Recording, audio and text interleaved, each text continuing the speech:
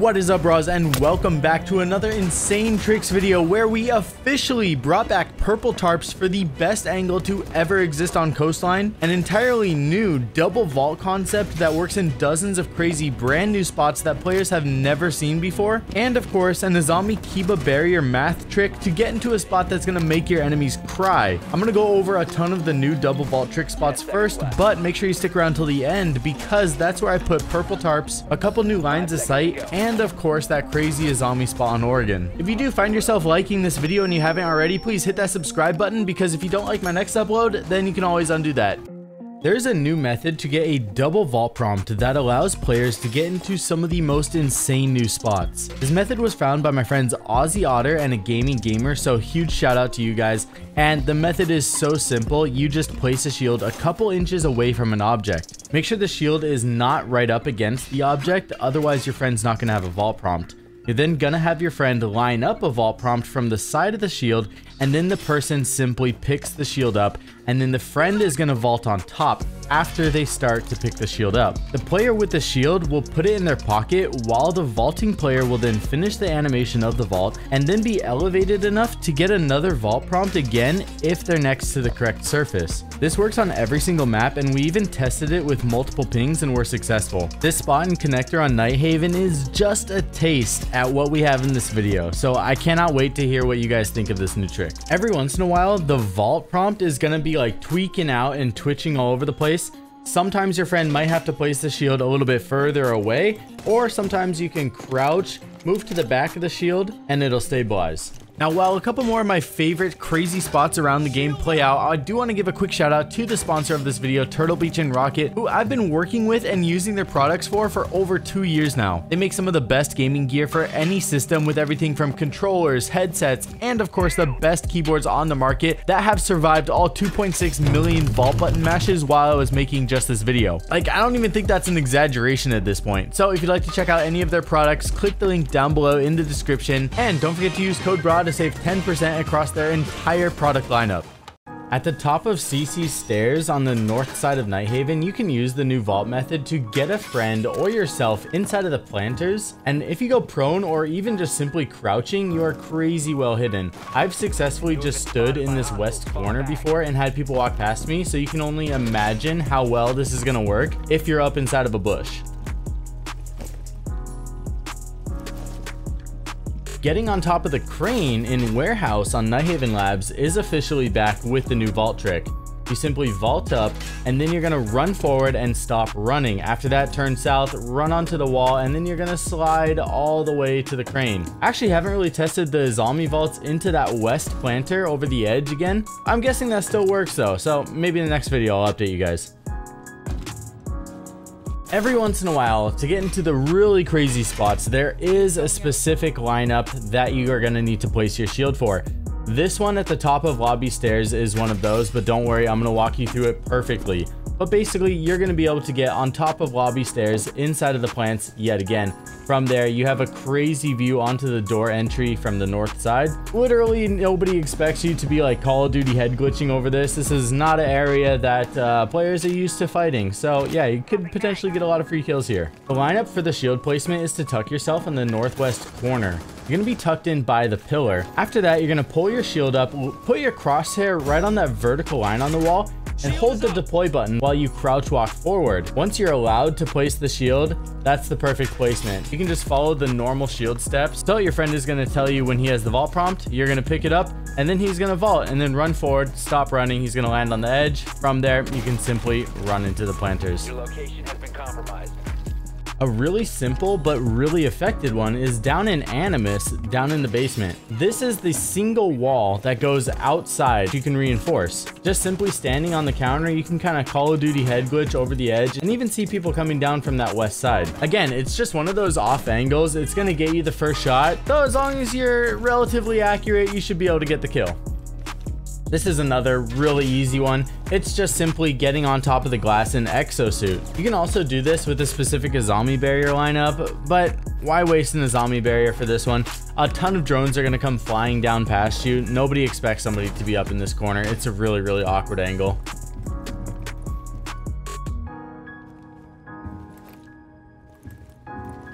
Now you guys probably remember the focal point of my previous video, literally the thumbnail, is this new spot on top of the dresser in Tea Room on Skyscraper. Guess what?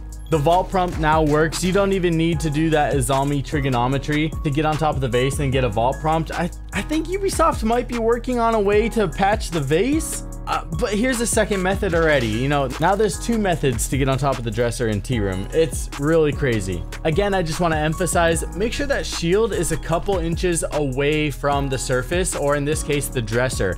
If you're placing that shield right up against the object, your friend's not going to have an option to get the vault prompt. Once the shield has a couple inches gap of the surface, then they're going to get the vault prompt.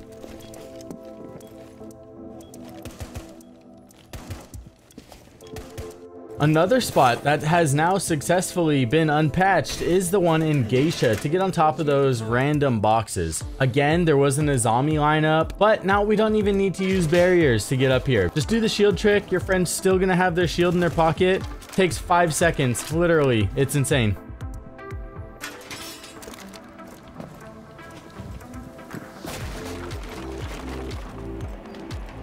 Now, this is the craziest spot for theme park. By looking at the corner of the plywood in the bathroom, you can vault up on top of the shield, look straight at that corner, and then that's what's going to unlock that second vault prompt for you. Have you ever shot a defender up here? Yeah, no, I don't think your crosshairs are going to be up here. So uh, watch out for this one. That's going to be a free kill for someone.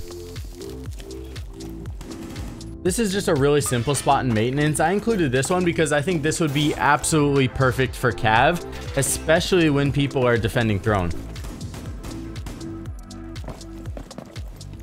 This is a funny, really easy spot to do in server room. And a fun fact about this is that with the shield trick, you can actually have two, even three friends do it at the exact same time. Watch this right here. Three of us are gonna vault up at the exact same time. So, if the surface is big enough to land on, it's a good thing to keep in mind if you want to hide with your boys. Yes, yes. Moving on to border, we're going to be able to get on top of the locker again in armory lockers. This is the one that overlooks the entirety of North Balcony, and you can shoot through this soft wall. It's really crazy. Honestly, you don't even need to stay up here for crazy angles. If you want to just go up there, put an evil eye or other gadgets, you can totally do that too. The most complicated trick with this new shield method is this one in Armory Lockers. You're gonna vault up and then you're gonna do a 180, run onto the corner where there's a blue and red bomb. From there, you kind of elevate on the left and then you're gonna run around the bomb and then kind of look quickly left and right and you can get up on top of the lockers and the suitcase. One of the craziest spots also one of the most difficult though, so I do recommend practicing this one in a custom game before you full commit into ranked. The other tip is for your friend who's placing the shield and try to get relatively close to the shield because the shorter distance between the corner of the bomb that you run onto and the shield vault, the easier it is to land on the chassis. In supply room, you can also now get onto those middle shelves. Another funny spot for an evil eye. You're probably gonna die up here, but it's fun. Inside of the waiting room, you can now get up on top of this vending machine, which is really funny because right after Border was reworked, people were getting up here with other methods, but using this simple method, you can do it again. Moving over to Chalet, there's a couple cool bookshelves that you can get onto, and if your boy Roy is standing on the default cam, you might not want to do this because it is in front of the master window. But if anyone is anywhere else, it's a really, really cool angle. The other cool shelf that you can get onto is on top of the mezzanine, and this one's really funny because you can go for spawn peaks because you can actually hit attackers as they vault up the cliffside spawn. Normally, attackers don't have to worry about it until they walk a little bit more forward and peek it, but this way you can kill them really, really early. This is the second most complicated spot that we have using the new shield method. You're gonna have to throw a barrier towards the bottom right side in front of that barrel, and then you're gonna do the shield trick onto the corner. From there, you're gonna inch your way slightly east, slightly north, and then you're gonna look at the barrier and get a vault prompt. Once you're up here, it's really dark corner, you're really well hidden, and you just happen to have angles all the way out past the snowmobile if somebody opens up the east side of the garage. Gustus thought of this really cool spot to get on top of the trash cans in the northeast corner in kitchen cooking on cafe. And this angle goes through prep and it's a really, really off angle because it goes over those prep counters and it is not an angle that is normal for crosshairs. You already know we're gonna have some crazy curse things on Outback. The first one is gonna be in office supplies. Make sure you don't fall behind the vertical table because if you fall back there, you are gonna get stuck. This one is crazy too though because if you break the top of the wall, you can see attackers that are vaulting up onto the balcony. In Garage Lounge, you can use the new shield vault to get up on top of the lockers and then literally stand over the window and watch people coming in. You can also shoot down the stairs and just have overall crazy angles in the garage. Down the mechanic shop, you can get on top of the machinery in the northeast corner. Really, really simple one.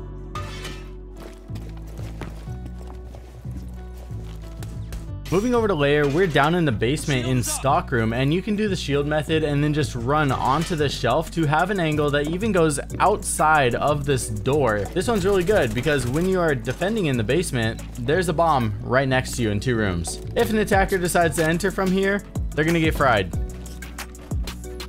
Over on Emerald Plains, we have a similar angle that overwatches a really common entry door. This one's over in Archives. If anyone chooses to enter the Archives door or enter the Archives window, again, they're gonna get fried. Probably the third most complicated new shield vault trick is going to be on bank and it's for unlocking the old banana spawn peak because we are going to be getting on top of the railing yet again. This time you're to have a friend place a shield and then you're to vault on top of the metal detector. From there, you're to have to do a quick walk onto the railing and then you're to have to do a quick sprint around the pillar. Not to lie, I failed quite a few times first trying it, but once you have like that muscle memory down of, of sprint, let go, looking quickly, you're to be able to land it quite a bit. This spawn goes really, really close. It's just north of that sewer spawn. If you weren't able to do this before getting on top of the banana railing was patched, it's a really fun one to go for. On Coastline, we have the return of purple tarps, and it feels like it's been a couple years since the last one, so this one feels really good, and honestly, it's one of the easiest methods that has ever existed. Shout out to Aussie Otter for teaching me the perfected lineup here, and you are going to need a Osa shield, but Osa is a great op anyways, so it all works well. All you need to do is push yourself into this double pipe on the northeast side of the roof, look slightly right of west onto this electrical box and then deploy the OSA shield. Once you do, OSA will be pushed slightly to the left and then the shield will be placed and then you're going to be able to get the vault prompt when you look northwest over the corner of the shield and onto the pipe. From there, you're free to vault over, drop on top of the cabana roof, and have the infamous angle through the default rotating hookah, and because this is so easy to do, you can even still parkour down onto the roof on the east and have all those crazy angles in the penthouse. And yes, you even can still vault through the penthouse window. It's definitely easiest with a 3 speed, but it can be done with OSA also if you practice the timing. Another cool trick with OSA is that you can stand on top of the curb on the side of this white van, sprint at the hood and get a vault prompt. After getting on the roof of the white van, you can stand in the third section, push yourself into the southwest corner, then turn around, look east at the concrete pillar by the gate. You're to then hold your OSA shield out and then go left until you can deploy it. Once the shield is deployed, you can go prone in that same corner and then simply stand up while walking south and you can get on top of that roof that has a ton of angles in the penthouse. Once you're up here, you can even go and place your second OSA shield and then just fight all the people that are ego peeking you wondering how you got up there. If you shoot out a hole on the bottom of the left vertical line on the wall connecting stage and stock, you can then prone behind the tables, which just happen to be bulletproof, and have this invisible angle onto anyone coming into stock. The angle is so hard to see, even if somebody is ADSing on you with a scope, you are going to have the jump on them and take their face off.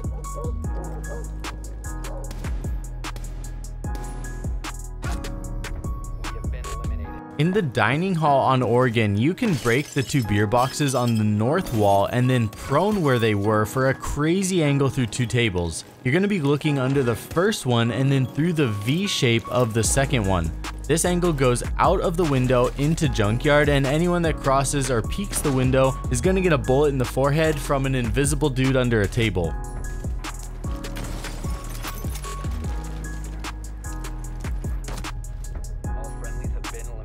In Attic on Oregon, you can actually get on top of the lights to surprise the crap out of attackers that push Big Tower. You're going to need two Kiba barriers, and the first one is placed at crouch level in the center of the blue box right at the same level as the bottom of the windowsill. Now you can get on the wood, crouch, and look at the barrier for a vault prompt. Once you're on top of that blue box, you will need to line up your crosshair with the dark spot on the top of the Kiba barrier, look down about a third of the way, and then throw the second one. Once you throw it correctly, you can simply vault on top of the light, destroy the barrier so there's no evidence, and then have the ultimate Batman drop spot. Anyways, you guys, I hope you enjoyed this video. That's about it for this one, so I'll see you all next one. Love you all. Peace.